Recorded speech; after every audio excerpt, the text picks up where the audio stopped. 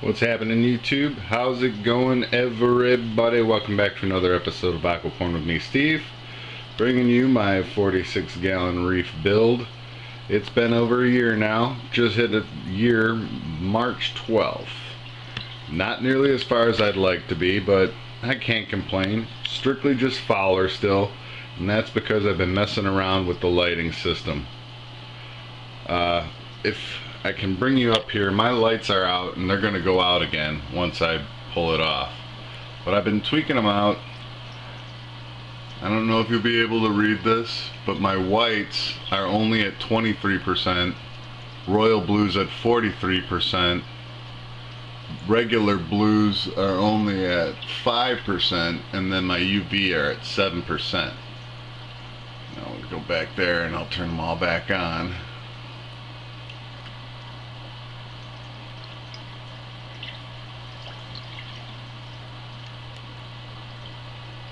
And this is what it looks like on the camera.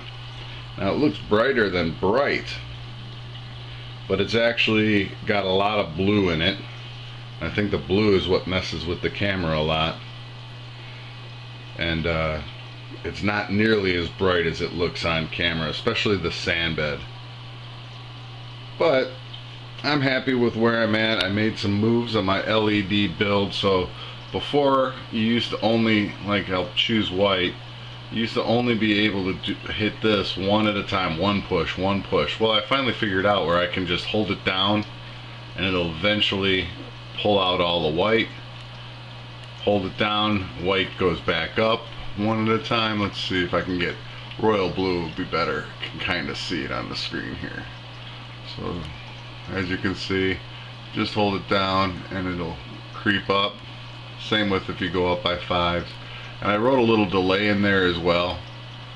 So it just makes for easier blending because before you used to have to hit the enter button over here before you could move on to the next uh, color. Well now I can blend it really easy because I can move from color to color and then I can get my the blend I want and then I'll hit enter and that'll save it on EEPROM. Now say I'm I've been sitting here goofing around so I want to get it back to the old settings. That turns it completely off but you hit it again and it'll bring it back to the last time it was saved EEPROM this saves it here and that's in case the power or something goes out. So let's get all these back to where they were. But I was noticing this is the hardest part about a do-it-yourself type of thing I eventually want to get corals in here. I mean, it's been a year. It's been a year since I've had, uh, you know, since I, that'll turn it all off on me. So now it's all off. That's because uh, typically at this time of night they are off. But the hardest part I was saying about having a do-it-yourself lighting rig is you really don't know what your PAR is unless you have a PAR meter.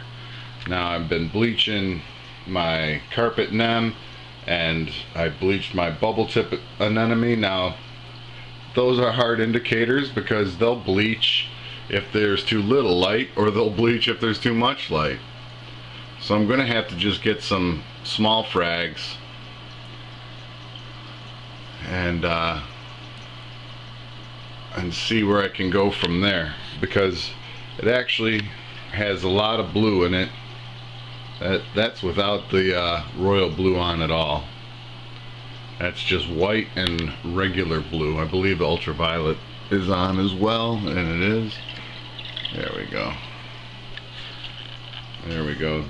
Royal blue's back on now. And just see, you know, that's the biggest trouble I've been having is dialing it in. But I made the moves on that blending screen. It's going to be easier to blend colors, so I started out low and I'll just work my way up. Right now, I am at, let's turn off again, 23% on whites, 43% on royal blue, 5% on regular true blues, and 7% on ultraviolet. So we'll see what I can get from there. I mean, it's definitely plenty of light, but that's, like I said, the hardest part is dialing it in do I have too much light? Do I have not enough light? And that's what I'm figuring out right now.